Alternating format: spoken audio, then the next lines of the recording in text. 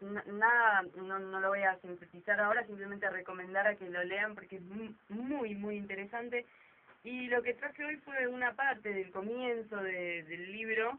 Este, la idea del caldero es que, que la gente empiece a hablar un poco más. Esto que siempre digo que me pesa a mí para ir traer un tema y ser yo la que propone, así que voy a presentar el tema, vamos a ir una canción y después será el debate con, con todos los oyentes egonoicos, calderísticos que quieran este, participar y dar su opinión, dirigido por ahí en algún sentido a los varones, pero bueno, eh, ah, paramos.